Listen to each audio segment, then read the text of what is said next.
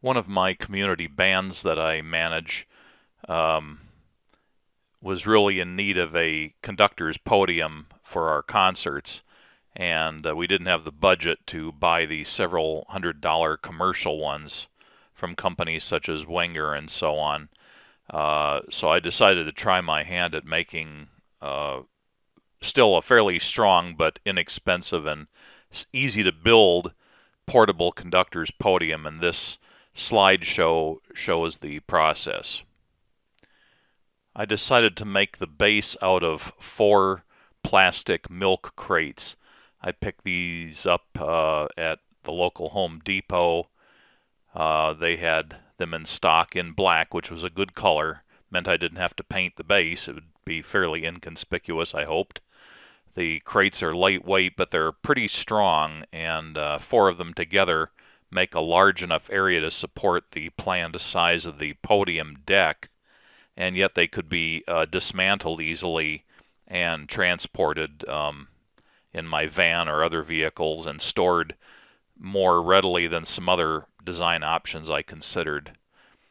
Now, uh, to hold them together, the simplest thing that occurred to me was just to buy four bungee cords and strap them by hooking on to one corner, looping around to the next uh, milk crate, and then tying that together. So basically, each side, which is comprised of two sides of milk crates, is held together, and then with four bungee cords going all the way around the four crate assembly, they're all held pressing inwards towards each other by the bungee cords, but yet they're easily rigged up and easily disassembled.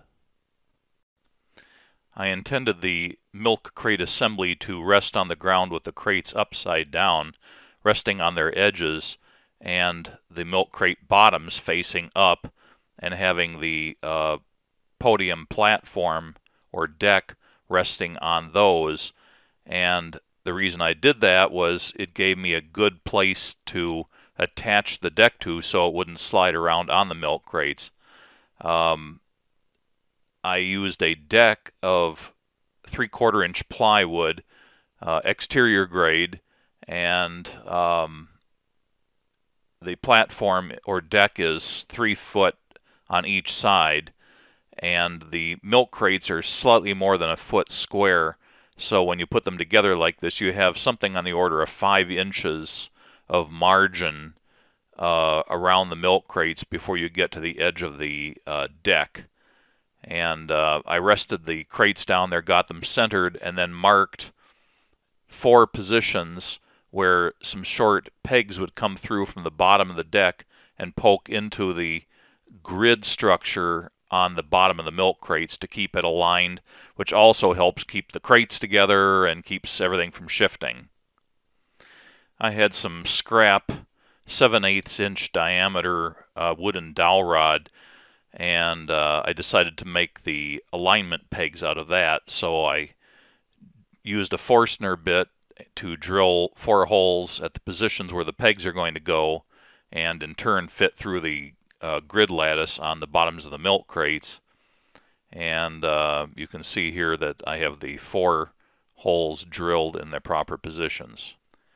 To make the deck easier to transport by one person, because three quarter inch plywood is fairly heavy in this size, I put in two oblong shaped carrying slots uh, positioned so if a person kind of puts the board under their armpit and reaches down and grabs whichever handle is the right length for their arm, then they can stand up and the bottom of the uh, deck will be perhaps four or five inches above the ground and can easily be carried that way. And so um, I drilled with a Forstner bit one inch diameter holes and then drew lines between their uh, tangent points and uh, used a scroll saw to uh, cut them out to the oblong shapes. On the 7 8 inch diameter dowel rod I marked for the four pegs and then used my saw to cut them into the four pieces and used my belt sander um, to round one end off so it would fit in between the lattice work on the crates more readily, uh, help align itself uh, upon insertion. I used epoxy to fix the four pegs into the holes that were drilled in the earlier step. And here's where I made what I hope is the only screw up on the design and building of this uh, podium. Um, when I'd marked the board for the four pegs, I did it with the wrong side of the board facing against the crates. So now when I went to assemble it, the pegs aligned with positions on the uh, milk crate lattice work that resulted in a crate to deck alignment that was slightly skewed as you can see in this photo. It's not as bad as it seems. It's only off by about an inch in reality. Uh, so it's like the four milk crates are slightly rotated from the platform. This does not present any problem for stability or strength.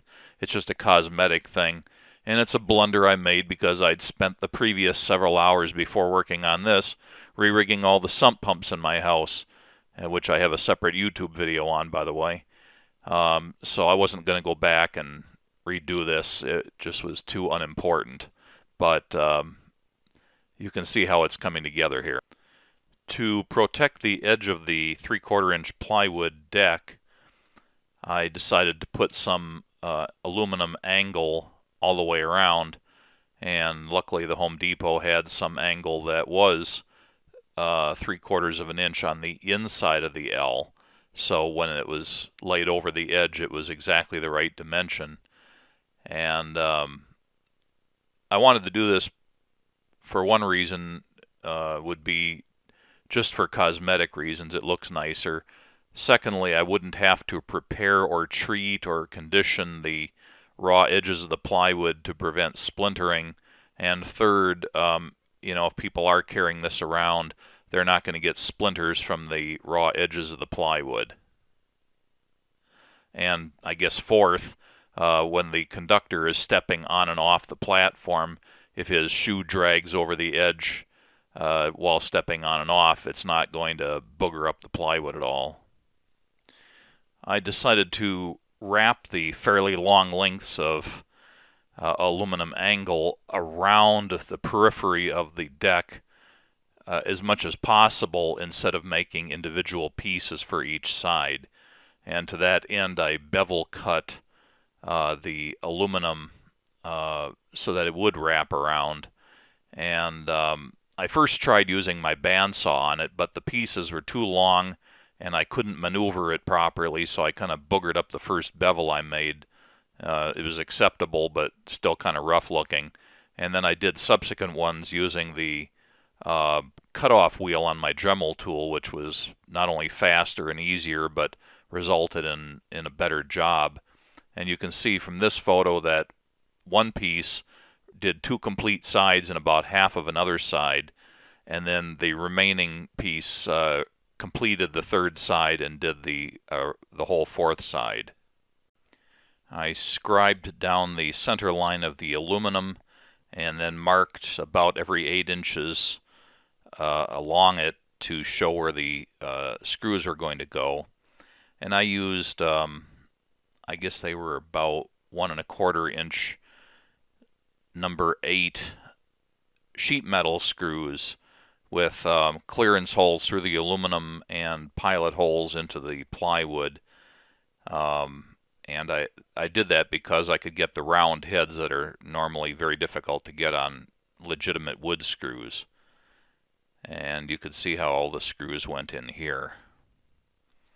On the bottom of the deck, I marked with a uh, thick Sharpie marker um, the outline of where the milk crates are supposed to go and instructions on how to assemble the whole rig for whoever in the uh, community bands volunteers to uh, cart this thing around, assemble and disassemble it. So I am not the only person who knows how to do it.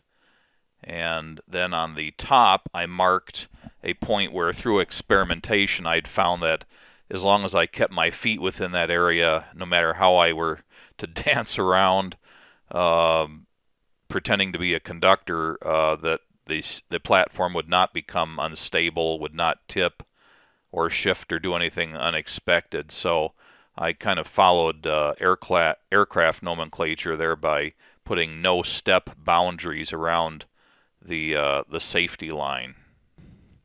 Then finally, um, I decided that uh, since I wasn't going to use carpeting on the top side, I was going to just put a nice heavy coat of varnish on and then a, a single thick layer of varnish on the bottom just to protect the wood.